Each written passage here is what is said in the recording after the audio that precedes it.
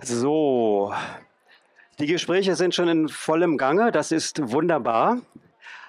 Aber äh, ich muss Sie und euch leider kurz unterbrechen, damit wir das Ganze auch ähm, offiziell starten können. Bevor ich das äh, tue, bevor ich das endgültig tue, gucke ich noch, ob alle die Leute, die äh, ich gerne in meiner Nähe für jetzt äh, die nächsten 30 Minuten hätte, das auch sind. Das ist da, ja. Wenn Sie noch ein bisschen näher kommen, das wäre wunderbar. Ihr drei steht da, ihr steht auch da. Ähm, und so machen wir das jetzt auch äh, in der Reihe Ihres ähm, Auftretens, was gleich äh, geplant ist. Ähm, sehr geehrter Herr Botschafter, lieber Peter Katschler-Schmal, lieber Wolfram Putz, lieber Thomas Willemeit, lieber Lars Krückeberg, liebe Irina Kurtischwili, äh, liebe Künstlerinnen, die stehen jetzt nicht hier, ähm, liebe Freunde, sehr geehrte Damen und Herren.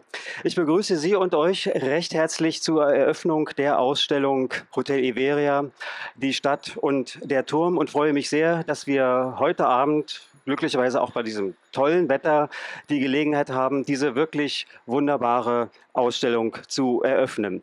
Diejenigen, die in den letzten, sag mal, zwei Jahren, Pi mal Daumen, öfters hier waren, wissen, äh, dass es eine gewisse Herausforderung ist, wenn wir hier draußen die Eröffnung äh, machen. Äh, aber wir ähm, versuchen trotzdem gemeinsam durchzuhalten und in gewisser Weise gehört natürlich die Stadt und der Straßenlärm auch zur Architektur Architektur und somit auch äh, zur Galerie. Also ich hoffe, wir werden das hier ähm, technisch äh, gut hinbekommen in den nächsten 20, äh, 25, vielleicht sogar 30 Minuten.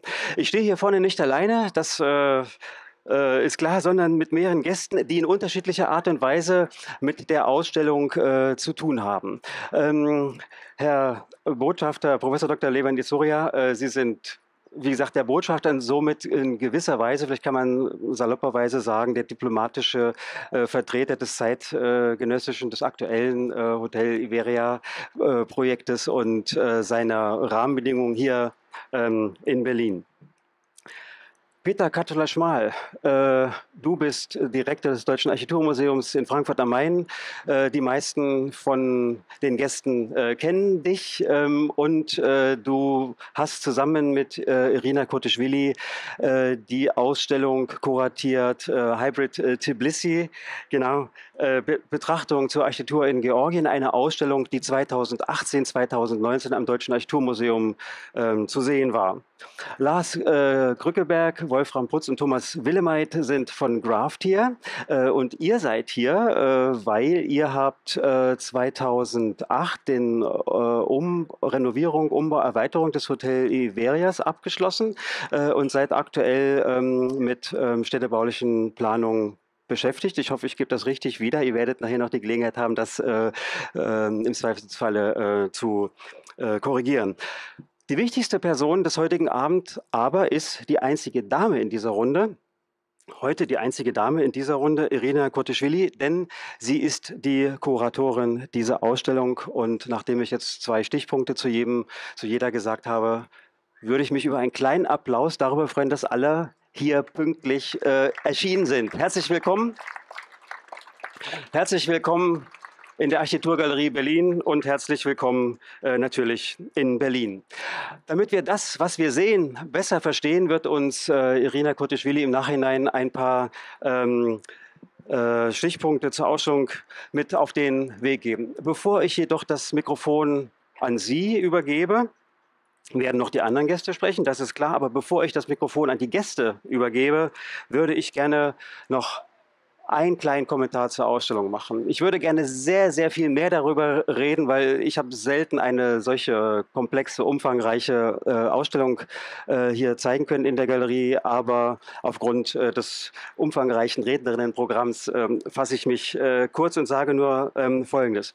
Diejenigen, die öfters hier in der Galerie zu Gast sind, wissen, dass wir, dass der Fokus der Ausstellung äh, im Prinzip auf zeitgenössischer Architektur liegt. Das seit 20 Jahren. Wir hatten äh, die letzte Ausstellung, die wir hier gezeigt haben, war tatsächlich die hundertste in diesem Raum. Also wir, der Fokus der Ausstellung liegt auf zeitgenössischer Architektur mit dem zunehmenden Schwerpunkt ähm, seit einigen Jahren, dass wir natürlich immer versucht haben, sozusagen nicht nur die ästhetischen Momente zu, äh, zu beleuchten, sondern auch zu fragen, warum ist das so, also die gesellschaftlichen Kontexte und die gesellschaftlichen Relevanzen ähm, abzufragen. Bei Hotel Iberia, die Stadt und der Turm, also der Ausstellung, die wir heute eröffnen, ist es nun das erste Mal, dass eigentlich die Kontextbetrachtung und äh, die zeitgenössische Architektur nicht nur in Balance sind, äh, sondern dass ähm, der Fokus vor allen Dingen auf dem Kontext liegt. Ähm, und das Besondere daran ist wiederum, äh, dass sich dieser Schwerpunkt der inhaltlichen Betrachtung, der auch ein sehr politischer ist, vor allem äh, aus persönlichen Erfahrungen speist und durch eine Unmenge bislang nur privat zugänglicher Artefakte dokumentiert wird. Ich bedanke mich äh, bei Irina Kutischwili also nicht nur für die kuratorische Arbeit äh, und die phänomenale, wie ich finde, phänomenale Ausstellungskonzeption, äh, sondern auch für das Vertrauen, äh, dass sie der Galerie für die Dauer der Ausstellung ähm, die zahlreichen originalen äh, Artefakte aus ihrer persönlichen Sammlung über überlassen hat. Und ich glaube, ohne diese originalen ähm, Artefakte äh, wäre die literarische architektonische Zeitreise, die wir heute Abend bewundern dürfen, sicherlich nur halb so intensiv. Der Dank an Irina wäre jedoch nicht vollständig, wenn ich nicht erwähnen würde, dass sie nicht nur kuratiert hat, äh, sondern sie hat ähm, die komplette Organisation gestemmt, einschließlich, äh, dass sie die Künstlerinnen hier eingeladen hat, ähm, deren Arbeiten hier heute Abend zu sehen sind. Und ich weiß nicht, ob Irina äh, am Ende vielleicht dazu auch noch was äh, sagen wird. Darüber hinaus bedanke ich mich natürlich bei allen anderen, äh, die zum Gelingen der Ausstellung beigetragen haben. Ähm, Maria Kotischwili hat steht da, hört gerade nicht zu, ist nicht so schlimm, äh, hat ähm, ihre Mutter tatkräftig beim Aufbau äh, aufgeholfen. Ich bedanke mich äh, bei meinem Team natürlich, was äh, den Abend heute erfolgreich äh, für euch gestaltet. Ich bedanke mich bei Graft vor allen Dingen. Ich bedanke mich bei ähm, 24 Hours äh, Hotel für die Unterstützung der Ausstellung, sowie last but not least bei den langjährigen Galeriesponsoren Jungen FSB, ohne die die Galerie in dieser Form nicht existieren würde. Viel kürzer ging es nicht, lieber Peter. Nein, hier. Erstmal. Ja, so ist es vereinbart und so ist es richtig. Also, ich übergebe das Mikrofon.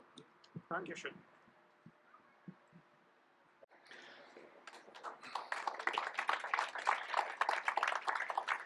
Sehr geehrter Herr Müller,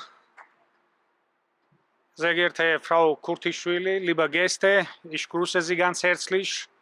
Als Botschafter von Georgien möchte ich ganz besonders unterstreichen, dass wir im kulturellen Bereich allgemein sehr gute Beziehungen zwischen Deutschland und Georgien haben und insbesondere im Architekturbereich auch, um zu wissen, wir haben schon lange Geschichte in diesem Bereich. Also im 19. Jahrhundert haben schon deutsche Architektur in Tiflis, sogar im Zentrum, Rathaus, Operhaus, Schulapalast gebaut, sogar Kirche. Und woher kam das? Weil vor zwei Jahrhunderten haben wir deutsche Siedler gehabt und durch diese Beziehungen entstand wirklich Entwicklung, entstand kulturelle Zusammenarbeit und auch insbesondere im Architekturbereich. Und besonders Georgier sind sehr darauf stolz, dass wir durch diese Zusammenarbeit so etwas Schönes anbieten können.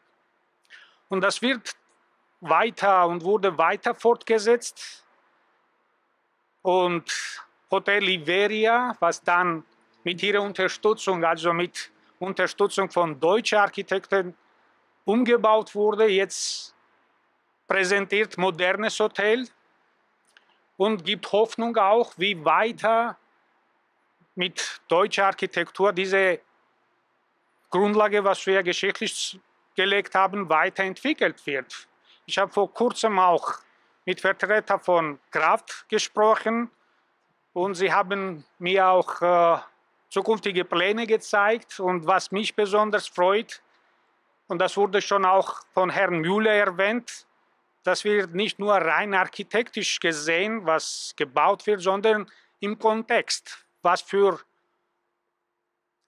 integrales Teil vom Umwelt das Gebäude äh, stell, sich stellt. Und äh, wie Vertreter von Kraft mir gezeigt haben, zukünftige Pläne haben besonders Bezug auf diese Umwelt, kulturelle Umwelt auch, dass man nicht nur einfach baut, sondern auch einbezieht diese Umwelt und diese systematische, kontextuale Einbezug von Umgebung in Architektur, in Planung ist was Neues, was auch Georgier lernen müssen mit ihrer Unterstützung und Hotel Iberia, Umbau vom Hotel und dieses modernes Hotel, was wir mit ihrer Unterstützung gebaut haben, wie ich gesagt habe, gibt äh, Hoffnung für die zukünftige Zusammenarbeit und als offizieller Vertreter meines Landes natürlich werde ich alles tun, um diese Initiativen zu unterstützen. Ich bedanke mich ganz herzlich bei Frau Kurtischwili, dass sie diese Initiative ergriffen hat und von unserer Seite werden Sie große Unterstützung bekommen. Herzlichen Dank nochmals.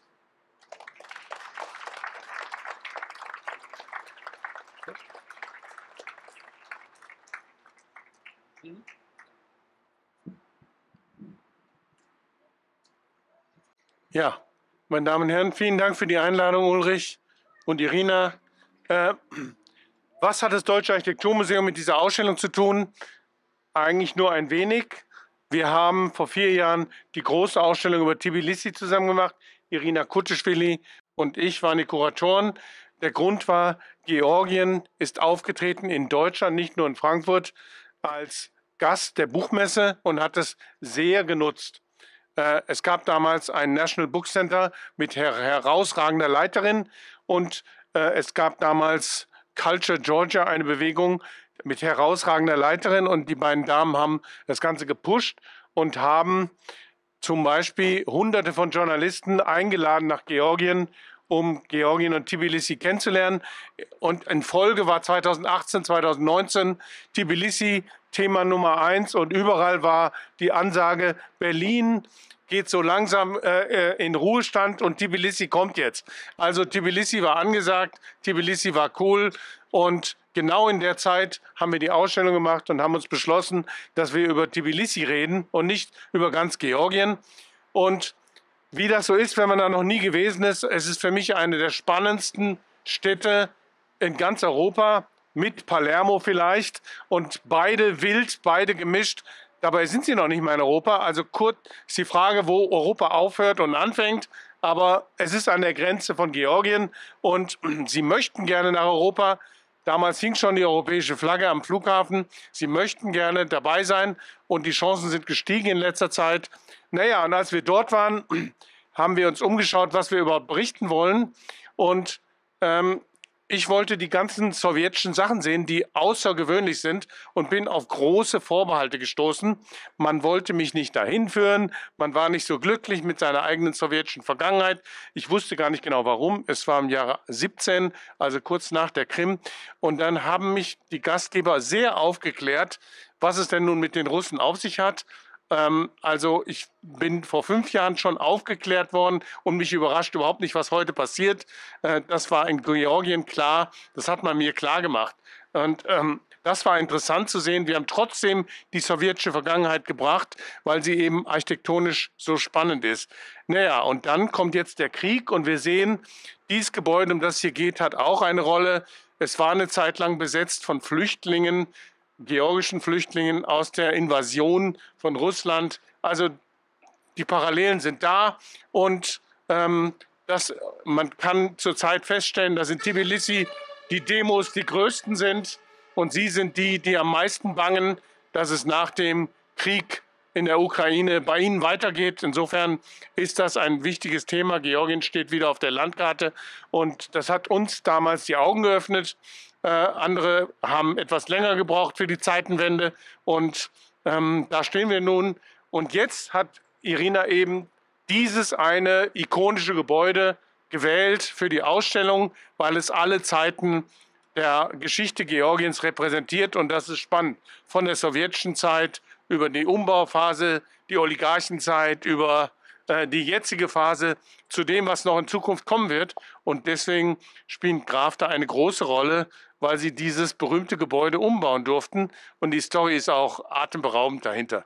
Ich glaube, Ulrich, vom Ablauf her sind jetzt äh, die Herren da, die zu dritt hier auftreten werden. Vielen Dank.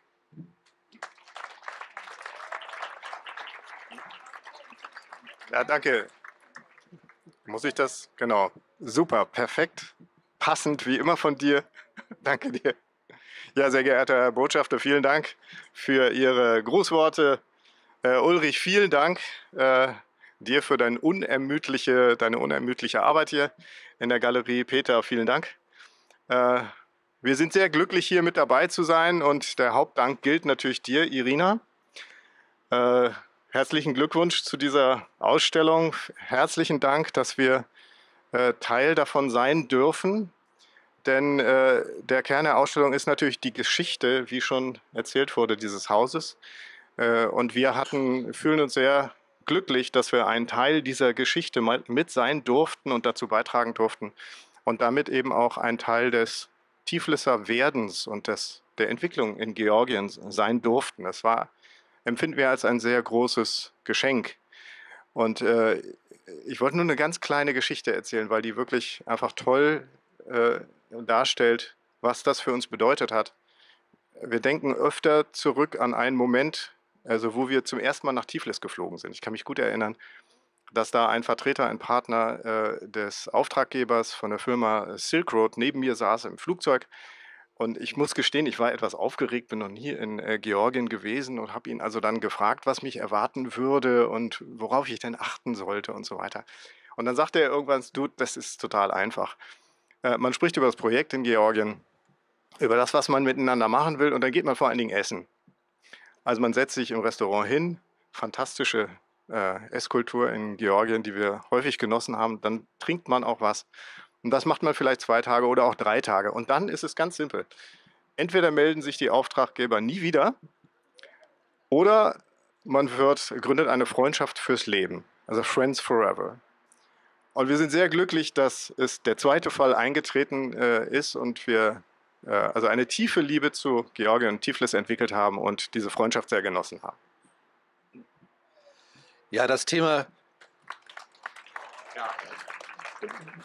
das Thema Geschichten erzählen ist eigentlich etwas, womit wir uns auch als Architekten beschreiben. Und das Schönste ist natürlich, wenn man über einen so besonderen Auftrag in eine weite Welt ziehen darf, um dort äh, zu lernen und dort Menschen und Kulturen kennenzulernen. Denn eines, was wir ähm, schätzen und üben durften in einem Land, das ja eine sehr geprüfte, aber auch eine optimistische Geschichte hat, ist eben, dass wir ein Haus mit dieser ikonografischen und von Irina jetzt heute so toll aufgearbeiteten Erzählung eigentlich, die gar nicht architektonisch ist, hat. Und wir haben dort viel lernen dürfen.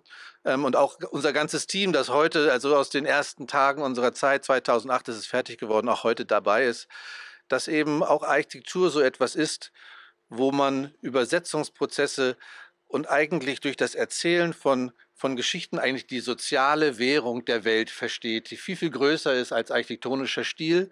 Und dafür sind wir dankbar und wollen uns eigentlich bei den Georgiern auch und den Georgierinnen vor allen Dingen natürlich bedanken, dass wir ein unglaublich tolles Land, ein unglaublich tolles Volk kennenlernen durften und drücken dem Volk auch in dieser Zeit die Daumen.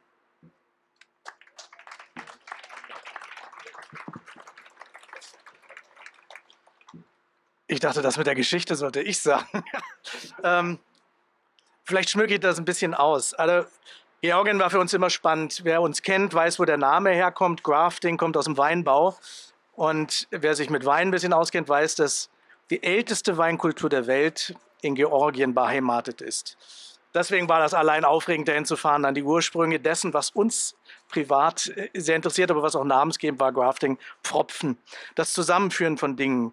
Deswegen, wenn wir Architektur machen, Wolfram hat es äh, angedeutet, wir suchen eigentlich immer nach den, den Charakteren, den Stärken, den Narrativen vor Ort Was hat dieses Gebäude uns erzählt? Was erzählt uns Georgien? Wir haben ziemlich viele Interviews geführt mit den Leuten und einiges an ähm, architektonischer Gestaltung in diesem Haus ist direkt, ähm, kommt direkt aus diesen, aus diesen Geschichten, die wir gehört haben. Also warum es oben ein, eine Riesenspa und einen Pool gibt auf dem Dach, hat damit zu tun, dass uns immer wieder diese Legende erzählt wurde, dass da oben angeblich ein Pool existierte, wo nur die Sowjets äh, schwimmen durften. Wir haben davon keine Zeugnisse gefunden, aber die Geschichte war so stark, dass wir natürlich einen Pool, einen Riesenpool ganz oben draufsetzen wollten, der dann für alle war. Und so gibt es in den Hotelzimmern äh, Anlehnungen an äh, Holzbalkone, die typisch sind für den georgischen Stil. Haben wir uns mit äh, Felsendörfern beschäftigt, die dann ähm, das Design für die Konferenzbereiche inspiriert haben, äh, dass wir einen Bauherrn hatten, der das verstanden hat, wir versuchen, aus den, aus den Geschichten des Ortes neue Geschichten zu erzählen. Das war ein wunderbares äh, Erlebnis und ist heute noch zu besichtigen. Das Hotel ist immer noch in ziemlich gutem Zustand, obwohl es ja schon ein paar Jahre auf dem Buckel hat. Also wer dorthin kommt, kann es wirklich nur empfehlen. Und so versuchen wir, diese Narration weiter zu erzählen. Mal sehen, ähm, wohin es uns noch trägt. Wir auf jeden Fall haben mit Georgien ähm, ja, so eine Lebensfreundschaft äh, gefunden. Danke.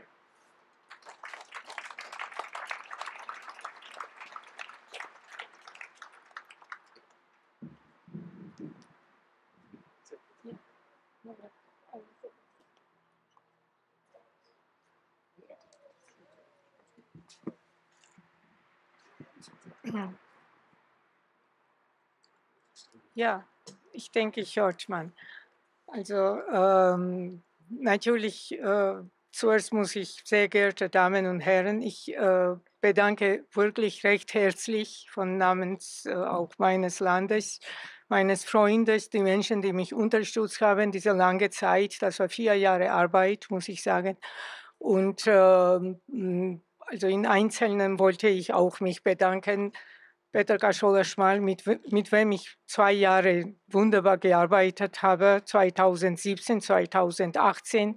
Ich möchte auch ähm, drei Gründungsmitglieder Kraft ähm, wirklich recht herzlich bedanken, öffentlich. Thomas, vielen Dank für äh, vor allem für diese Freiheit, was ich gehabt habe, diese letzten neun Monate, das war wirklich harte Arbeitszeit pro Tag 19 Stunden. Ich werde jetzt auch äh, meinerseits äh, danken, äh, Botschafter, dass Sie gekommen sind, weil es, äh, es war eine Delegation, wie ich weiß, und wenn aus Georgien Delegation kommt, ist dann irgendwie, muss man Zeit finden auch dafür und äh, das ist jetzt vielleicht kleine Ausstellung, aber sehr wichtige Ausstellung, denke ich, für mein Land und äh, in dem Sinne kulturelle. Ich sage nicht politisches. Wir sind alle voll mit ganzem äh, politisches Geschehen, was letzte Zeit passiert.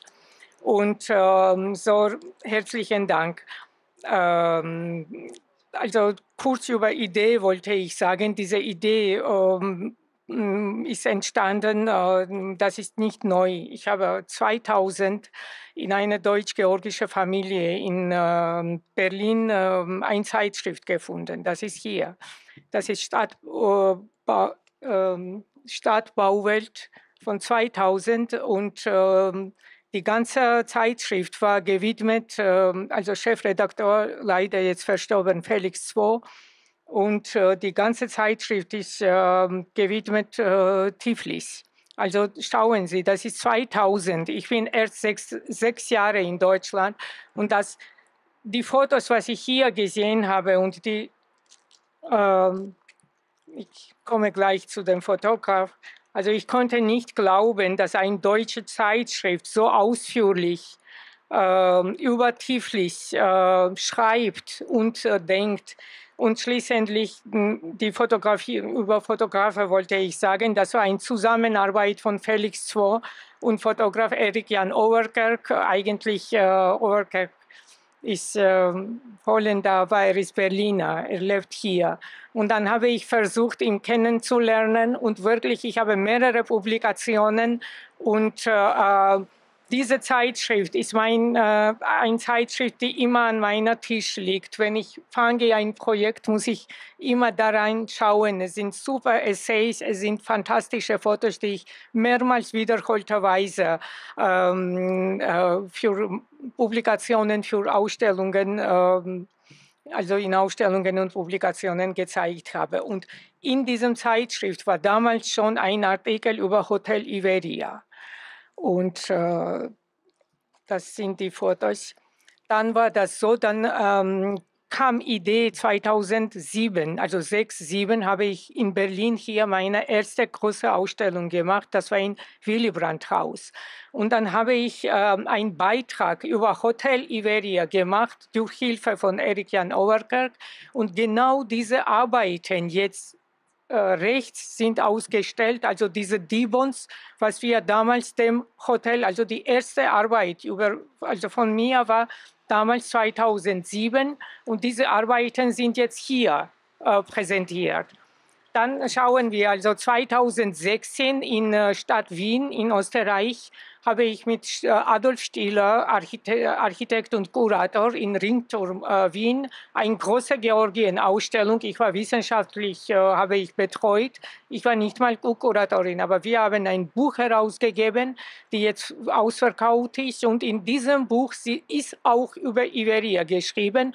Aber dann war auch Kraftbeitrag dabei schon, weil 2016 Hotel war schon fertig aber wir haben keine guten Fotos gemacht. Und ich habe mir, mir wirklich, Thomas und Ralf und Wolfram, keine Mühe gegeben, mit euch Kontakt aufzunehmen. Entschuldigung. Und da sind die Fotos von, selbst von Adolf Stieler gelandet, aber wieder fantastischer Beitrag, Fotografien von dieser mit Flüchtlingen bewohnte Hotel, diese Fassade von Erik Jan Overgeck. Und dann ging die dritte, drittes Mal, wo ich die Hotel gezeigt war, das war schon in Frankfurt. Da hat äh, Peter äh, gewünscht eigentlich, also die erste Idee für äh, Frankfurt Ausstellung ähm, zusammenzubringen. Es ging an moderne Architektur und ich war derjenige, dann irgendwie habe ich gesagt, äh, eine Ausstellung kann man nicht, also wir müssen das schichtsweise arbeiten und äh, vergangene Zeiten auch zeigen irgendwie. Und äh, dann hat doch Peter ähm, sein eigener Beitrag war über diese neue Architekturen, was nach der Millennium entstanden sind und äh, gab es zwei Interviews und davon einer war mit äh, äh Kraft und äh, ich könnte dann äh, diese Interview auch zuhören teilweise, also das war Telefoninterview und dann auch korrigieren manche äh, spezielle Begriffe und sowas. Ich fand das ganz toll. Ich habe jetzt wieder einmal gesehen, wie die durch diese Interview, wie, wie denken die Deutschen, die besuchen Tiflis, was nehmen sie mit? Wie ist das und ganze Geschichte auch mit dem Silk Road und alles. Also ich kenne das alles mit, sagen wir so, Spekulationen, was so in Kulissen geredet ist. Aber das ist für mich persönlich als Künstlerin und Kuratorin war interessant, was eine seriöse deutsche Architekturfirma äh, schreibt über mein Land. Ja. Und ähm, ja, also dann war die Ausstellung und ähm, in dieser Zeit habe ich gedacht, mein Gott, ich muss eine große Ausstellung über Iberia machen und dann einmal im November war äh, Thomas Willemeyer auch in Frankfurt und wir haben in einer Bar äh, waren wir zu dritt. Und es war auch äh, Georgi Chmaladze dabei. Er ist etwas früher gegangen und dann habe ich gedacht, jetzt sag ihm oder du sagst das niemals. Ja, sag, sag. Und dann habe ich gesagt, ja, ich werde eine Ausstellung machen. Und wenn ich sage, dann mache ich das auch. Und dann habe ich angefangen, 2019 ist meine Tochter dann nach Berlin eingezogen. Ich war drei Monate hier mitgekommen und dann habe ich Texte gemacht. Ich war in Tiflis, ich habe in National Archiv erste Recherche getan, getan und zehn Archivfotografien, praktisch was Sie in anderer, also die dahinter schauen, diese zehn Fotos, das sind wunderbare Fotos auch von na, ja, Berlin, Berlin. Wunderbare Fotos vom Nationalarchiv äh, Tiflis. Ich habe jede Foto für 15 Lari gekauft, muss ich sagen. Das ist äh, 5 Euro vielleicht und äh, ich äh, besitze Rechte und ich kann diese Fotos in Ausstellungen zeigen, zusammen mit anderen Fotos. Und ähm, ja, diese Ausstellung, äh, also Eröffnung, ich bin sehr dankbar euch, dass Sie so zahlreich gekommen sind. Aber natürlich, äh, das ist so eine Ausstellung, das muss man auch in, vielleicht auch in anderer Zeit in Ruhe ein bisschen auch ähm, äh, mit Freunden vielleicht, aber so ein bisschen ruhiger anschauen. Also hier ist, muss ich betonen, viel Kunst und viel Literatur. Das war auch immer Gesprächsthema mit Ulrich Müller. Machen wir jetzt Architektur oder ist das eine Kunstausstellung? Aber ich mache eigentlich Ausstellungen ähm, äh, zusammen mit Künstlern, natürlich, ja. Und ich habe gesehen, nicht nur Architekten denken über diese Hotel, sondern es sind die Menschen auch Fotografen, das komme ich noch dazu, aber es sind Künstler, auch ähm, Georgier, aber auch die Deutschen die über Hotel Iberia gedacht haben. Dann habe ich das zusammengestellt und da sind etwa zwölf künstlerische Beiträge dabei, die ähm, von, ähm, ich sehe hier Sofia Tabataza, Gestern war ähm, Ketuta, äh, Alexi Meskischwili äh, hat besucht Galerie, ähm, Tolia Astachischwili, alle drei Damen leben und arbeiten in Berlin, die sind Georgier.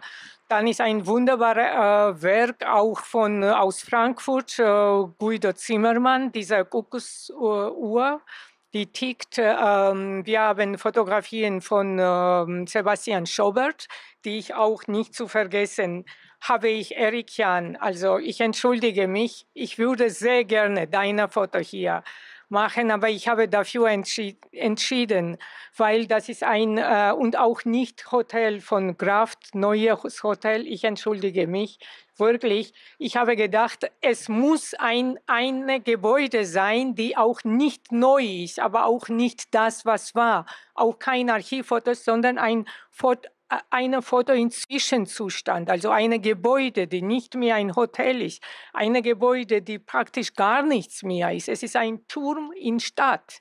Und dann war, äh, ich habe einen Katalog gehabt von Sebastian Schobert, ganz zufällig, das war 2011 herausgegeben, liegt hier.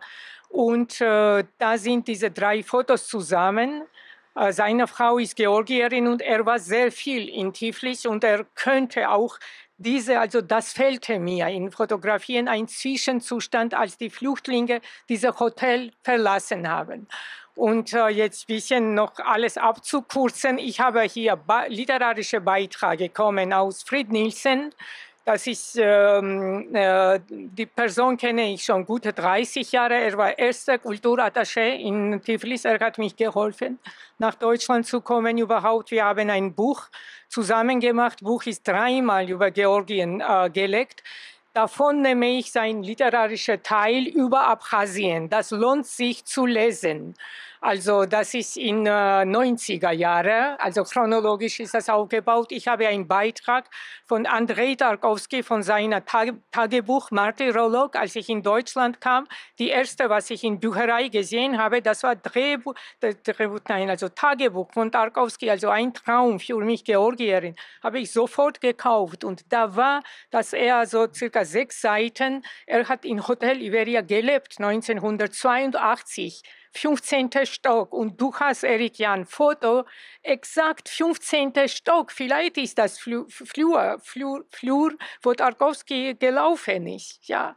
Und dann danke ich auch Lascha Bakhase, weil er hat äh, mir wunderbare Möglichkeit, also Informationen gegeben, zum Beispiel Adolf Endler Berliner äh, Schriftsteller und äh, ähm, also mm, er hat übersetzt georgische, er ist Übersetzer und hat interpretiert georgische Gedichte. Sein Buch liegt da, äh, zwei äh, Erzählungen äh, über Georgien zu erzählen. Und, habe ich vergessen. Ja. Und äh, es ist auch äh, Beitrag, äh, durch Laschas Hilfe habe ich auch Informationen von Russen zum Beispiel. Ich sage jetzt so Politik, Politik, aber über Wladimir Wysotsky zwei Schallplatten, wunderbare Geschichte mit Orangen, die hier auch präsentiert sind. Also Wysotsky hat auch gelebt in Hotel Iberia. Nicht zu vergessen, ich weiß nicht, vielleicht vergesse ich etwas, aber äh, Ausstellung ist aufgebaut, literarisch, architektonisch, politisch. Es sind viele Parallelen. Ich komme von Film, von Szenografie. Ich habe Gefühl von Raum, von meiner Kindheit. Und ich bin glücklich, dass in dieser Ausstellung vielleicht habe ich eben diese Parallele zusammen ähm, kann man sagen. Ja? Und äh, in jeder Ausstellung, aber in der Ausstellung besonders habe ich versucht, äh, ich spreche jetzt nicht mehr über Flüchtlingsdrama, ich spreche auch nicht über Politik. Äh, ich sage nicht, dass äh, ich sage abtrünnige Republiken, sondern ich das. Ich zeige auch nicht die Karten, wo Abchasien und Ossetien zum Beispiel oft rosafarbig ist gefärbt, aber deutsche Zeitungen liegen hier von 2008, von letzter Krieg mit Russland äh, und äh, also in, ähm, äh, in Schinwali-Region, also wie in Georgien sagen wir Schinwali-Region, in deutscher Presse kommt das als ähm, Südossetien. Das ist ein bisschen so versteckt, das wollte ich jetzt nicht groß, aber kann man anschauen. Und äh, nochmal herzlichen Dank fürs Kommen und äh, wir haben auch nicht vergessen Führungen samstags. Die nächste ist also jetzt Samstag und danach ist 17. September und dann ist äh, 1. Oktober. Und die große Veranstaltung mit Symposium kommt 6. Oktober, äh, Donnerstag, und äh, sind Sie herzlich willkommen. Da wird gesprochen, das, was zu sprechen ist eigentlich, auch über Politik, über Architektur, Kraft ist dabei Berliner Schriftsteller, eigentlich aus Stuttgart, aber ehemaliger Direktor vom Goethe-Institut von 2007 und 2013. Stefan Wakwitz wird dabei sein. Es wird äh, äh, Saal Andronikaschwili, ein Denker und Intellektueller aus Georgien, der hier in Leibniz äh, Universität arbeitet, Nikolaus von Twickel, ein hervorragender äh, Kenner äh, Georgiens und äh, Tina Tingurgenidze wird dabei sein. Sie ist äh, Gründerin für, äh, Tbilisi Biennale, Architektur Biennale und ich habe eingeladen aus Wien, äh, aus Architekturzentrum Wien, Katharina ähm, Rita, äh, mit ihr habe ich, ich habe sie sehr geholfen 2012. Sie hat zusammengestellt große Sowjet äh, Architekturausstellung und da war etwas bisschen von meiner Vater und so kennen wir uns. Also ich, ich danke alle Freunde, Kollegen und Architekten und äh, Direktoren Ulrich Müller, äh, Peter Kaschola-Schmal für diese Dabeistehen und Ausstellung ist Eröffnung und ich wünsche Ihnen schönen Abend. Nochmal vielen Dank. Madloba.